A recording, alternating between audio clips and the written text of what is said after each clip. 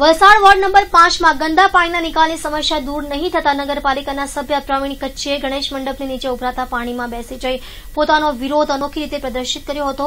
Ward number પાંચમાં મદનવાડ વિસ્તારમાં ડ્રેનેજના ઉભરાતા પાણીની અનેક રજૂઆતો કરવા છતાં પણ નગરપાલિકાના તંત્ર દ્વારા કોઈ કાર્યવાહી નહીં કરાતા હાલમાં પણ ગણેશ મંડપ નીચેથી ડ્રેનેજનું પાણી વહી રહ્યું છે.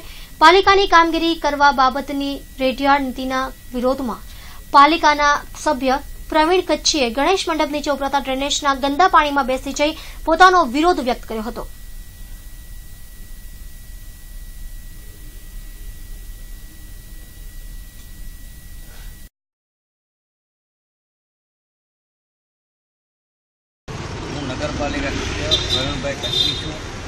આ વિસ્તારમાંથી વર્ષોથી હું મને આ લોકો ચૂંટીને લાવ્યા અને તે બી આપણે બ્રાહ્મણનો મોલ્લો છે અને અસલ જે બ્રાહ્મણો જે લઈ જતા હતા.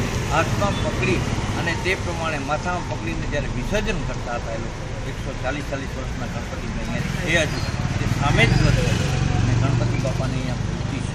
તેમાં જો ડ્રેનેજનું પાણી નીચે જતું અને વારે ઘડી મેં ફરિયાદ કરી છે.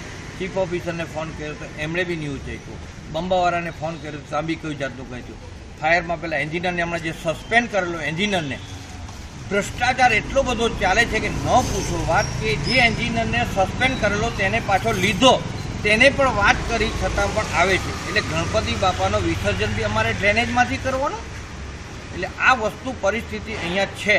એટલે કોઈ પણ રીતે કાયદેસર રીતે આજે પાછો ભારતના વડાપ્રધાન નરેન્દ્રભાઈ મોદી એનું જન્મદિવસ અને તેમાં જ જો આ વસ્તુ પરિસ્થિતિ જો થવાની હોય તો અહીંના અધિકારીઓ શું કરે છે તો માનનીય નરેન્દ્રભાઈ મોદી, તમે વલસાડમાં આ વોર્ડે તમને જીવતદાન આપેલું છે અને બચાવેલું હોય તો આ જ વોર્ડે બતાવેલું તમને. જે વખતે ઇન્દિરા ગાંધીએ કટોકટી જાહેર કરી ત્યારે અટલ બિહારી વાજપેયી, મોરારજી દેસાઈની ધરપકડ થઈ અને તમે ત્યારે સીબી હાઈસ્કૂલ પાસે સંતાયેલા અને રાતના ખોડે દાદા આપણા તમને. સીબીઆઈ વાળા ધરપકડ કરવાના હતા અને રાતના કોળે દાદાએ તમને પોતાનો રેલવેના મોટા સાહેબ અને તમને ધરમપુર અને મૂકી આવેલા તમને. અને તે જ વિસ્તારને એવું થતું હોય તો તમારે એ તો ધ્યાનમાં રાખી અને એ અધિકારીને જ્યાં લગી સસ્પેન્ડ નહીં કરતો વલસાડે છેલ્લામાં છેલ્લું તીરથ છે. ગાંધીજી પણ અહીંથી જતા ત્યારે બારીનો દરવાજો બંધ કરી દીધેલો.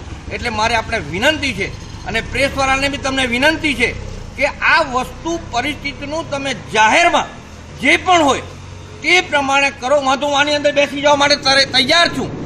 કારણ કે મા બાપ આપણને પાળી પોષીને મોટા કરે છે બધા.